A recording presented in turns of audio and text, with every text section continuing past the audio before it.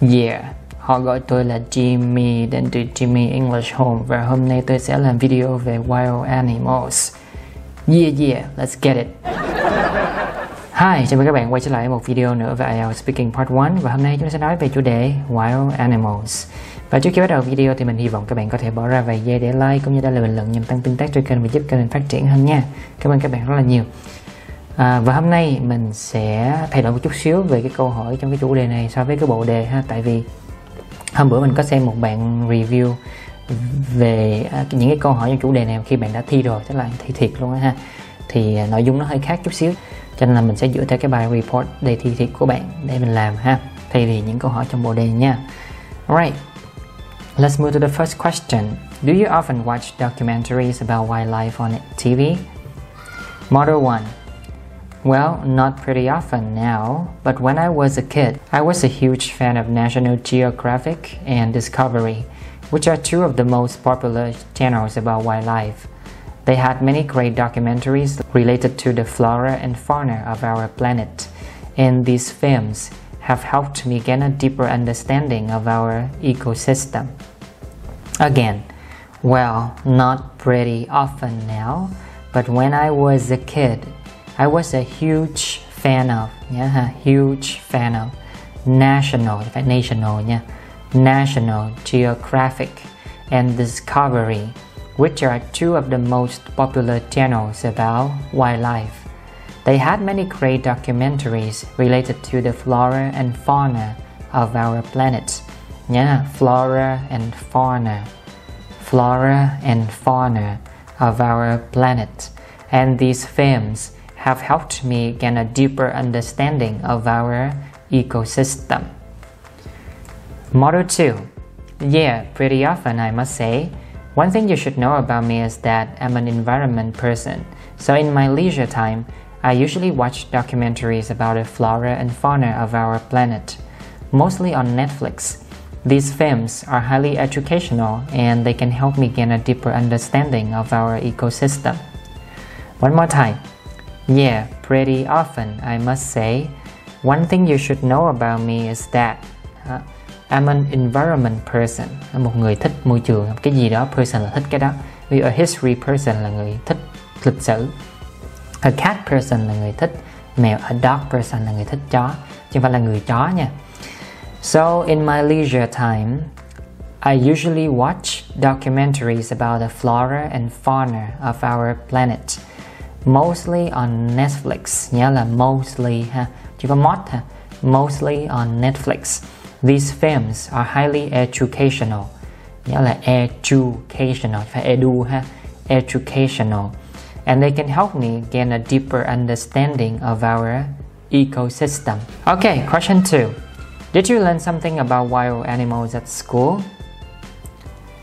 I did. I remember when I was a secondary school student I got to learn about these animals in biology classes. Just so you know, biology is a compulsory subject in Vietnam's education system, and the subject has taught me lots of interesting facts about wild creatures such as their natural habitats, their biological features, and the like.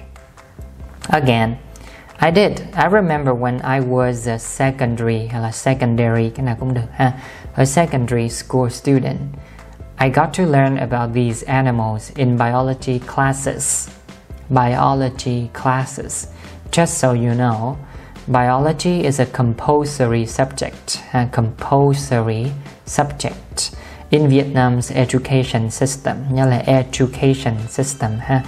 And this subject has taught me lots of interesting facts about wild creatures, such as their natural habitats, their biological features and the like uh, and the like cũng and so on and things like that ha. Question 3 What are the best places to see wildlife in Vietnam? Well, the first destination that comes to my mind is Phong Nha Kẻ Bàng National Park. It's located in Quảng Bình, which is a province along Vietnam's north central coast, and is recognized as a UNESCO World Heritage. You can find a wide range of plant and animal species there, and it's also home to Sơn Đoòng, the largest natural cave in the world. There may be some other places, but right now, that's the only one that I can think of. Again, the first destination that comes to my mind is Phong Nha Kẻ Bàng National Park. Nhớ là National ha A đó. National Park. It's located in Quảng Bình, which is a province. Nhớ là province không phải là province nha. Province along Vietnam's north central coast. And it's recognized as a UNESCO World Heritage. World Heritage. You can find a wide range of plant and animal species there. Species. And it's also home to Sơn Đoòng, the largest, nhớ là largest natural cave in the world. There may be some other places, but right now, that's the only one that I can think of. Ở trong trường hợp là người ta hỏi nhiều nhưng mà mình nhớ được có một cái thì mình có thể dùng cái câu này ha. Có thể là có những cái thứ khác nữa nhưng mà hiện tại ngay bây giờ thì đó là thứ duy nhất mà tôi có thể nghĩ tới. Được chưa? And the last question. What is the country that you want to see the wildlife there? Model 1. Probably Australia, mainly because this country has numerous exotic plants and animals, and it's not too far from Vietnam. It only takes around 7 hours to fly there. I've seen quite a few videos on the internet about Australian people encountering different types of animals on the street while driving, and I find that pretty astounding. Again, probably Australia, probably, probably Australia, if I oh, oh, Australia, Australia, mainly because this country has numerous, numerous exotic, exotic, exotic plants and animals, and it's not too far from Vietnam. It only takes around, nói lại, takes around 7 hours to fly there. I've seen quite a few videos on the internet about Australian people encountering different types of animals on the street while driving, and I find that pretty astounding. Uh, astounding, uh, astounding. Model 2.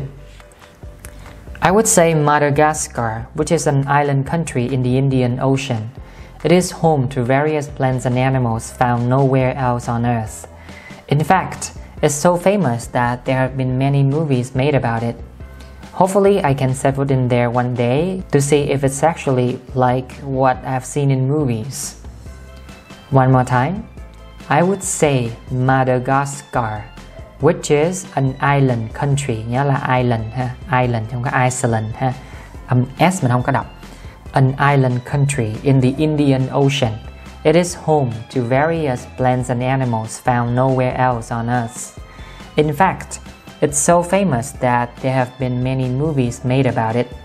Hopefully, I can set foot in there one day to see if it's actually like what I have seen in movies.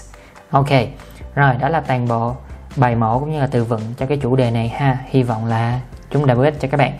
Các bạn đừng quên like cũng như để lại bình luận nhằm tăng tương tác cho kênh và giúp kênh mình phát triển hơn và à, giúp cho mình có thêm động lực để ra những video mới bổ ích hơn nữa nha. Cảm ơn các bạn rất là nhiều. And that's also the end of today's video. Thank you so much for watching and I'll see you guys in the next videos. Peace.